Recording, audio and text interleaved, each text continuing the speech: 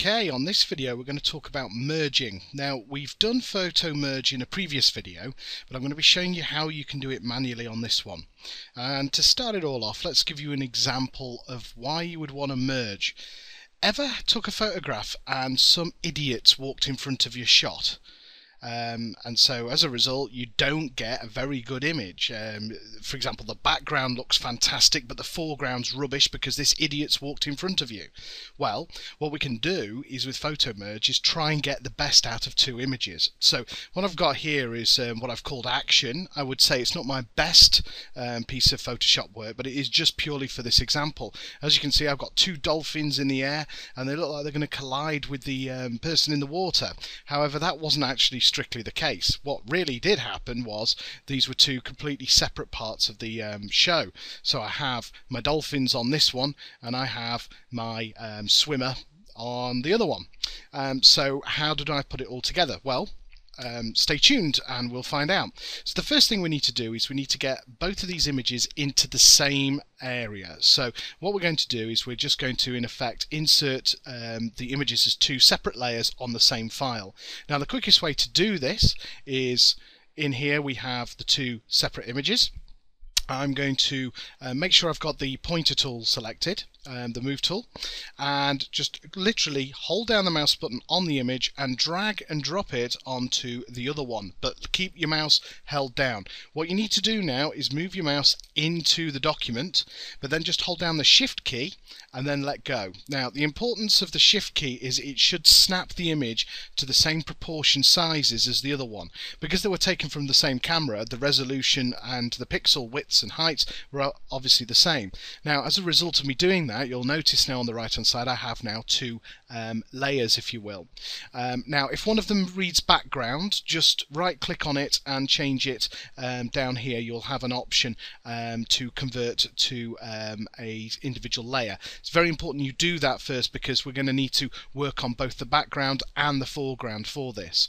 Now to merge them together all we have to do is with the shift key click on both layers to have them selected and then as long as you've got the move tool selected, the button is in front of your very eyes, but you may not have noticed it. You'll see at the very end of the toolbar there's these two little faces, and if you hover over it, it should say auto align layers. Now, what will happen in this case, if I click on it, brings up a dialog box asking me how do I want to do it. Now, most of the time, 90% of the time, auto will do all of the work for you. However, you do have other options like perspective and collage. Now, for example, perspective, you happen to position the camera a little bit lower or a little bit higher, so therefore the image needs to be twisted slightly to make sure it fits properly.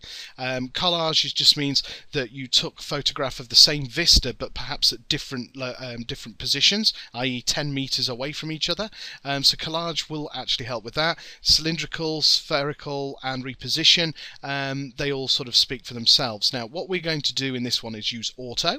I'm just going to click on OK and give it a second and away it whirls. And as a result there you go. We've now got both images simultaneously on the screen but as you can see a lack of dolphins. Also the other problems are you can see that the exposure is different by the lines appearing down the side here. So we've got to do a little bit of tidying up.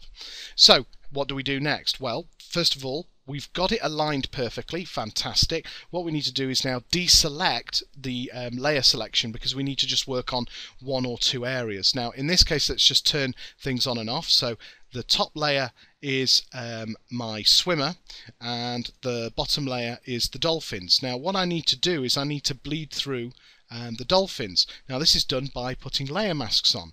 So making sure you've got the top layer selected, just down at the bottom here, make sure you select um, insert um, layer mask. Now what will happen is your color palette will go to black and white. This um, has been explained in previous videos. Have a look at non-destructive edits if you're not um, familiar with this concept.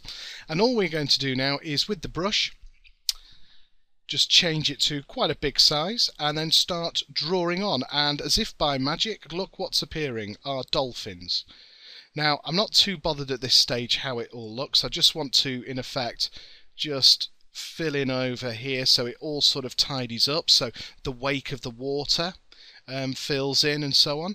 Um, and oops, gone too far. What I've done is I've gone past the boundaries of that first image and started eating into the other one. So no problem. You just press X on your keyboard or this little icon here, which will switch the um, colors around so it goes to white. Now with the mouse, just drag back over and you'll refill in the image. Now what you have to do is you're going to have to spend a little bit of time, probably by zooming in, until you get to this sort of level and then very carefully drag and as you can see one of the problems I had is because the dolphins were moving the image is slightly blurred. But that's no problem for me because all I'm going to do is just drag upwards. And as you can see look they're all coming back to life again. They're no longer fuzzy little blobs. So you keep going around and keep playing with it until you've got it in a better um, position.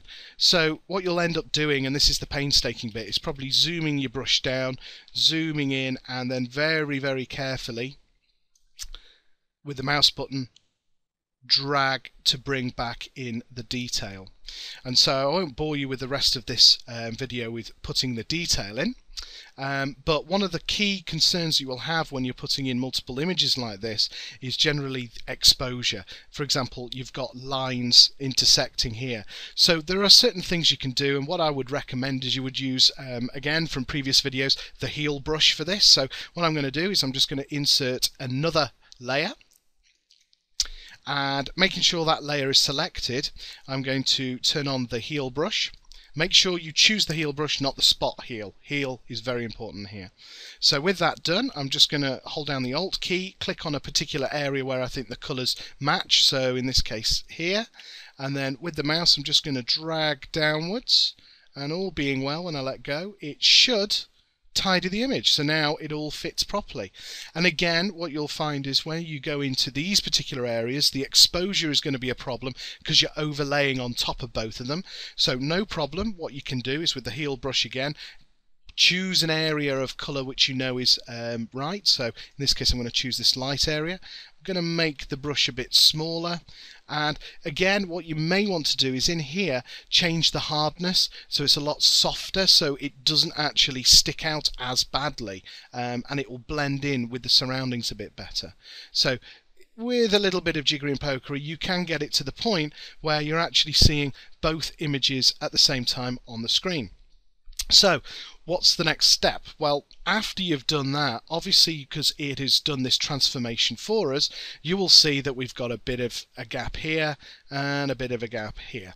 Well, again, this is where you use your clone tools and just very carefully on this new layer that you've created, put that information in. So I'll just very quickly, for the benefits of the time of this video, just drag over like so. And again, because I've got the softness uh, well the hardness turned down. Let's just make that a bit stronger and try again.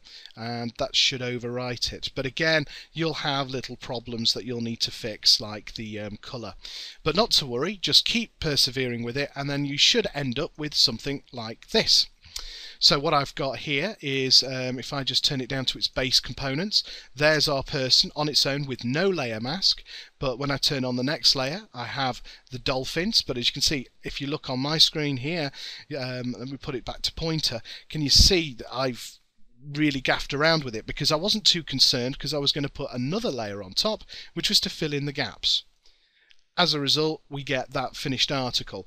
I'm not entirely proud of the area at the top right. With, with a little bit more time, we could actually tidy it up. But as a result, you now have a fully fledged image. Now, before you switch off this video, I'll just point out that these particular samples, if you wanted to try and recreate what I've done, um, are available on the PC Teach Me website. Um, so that's http PC teach.me. Um, you'll have to register, but inside there you will be able to find on this um, specific post the example um, PSD file for you to play around with. So thanks for watching, and I hope you get good results.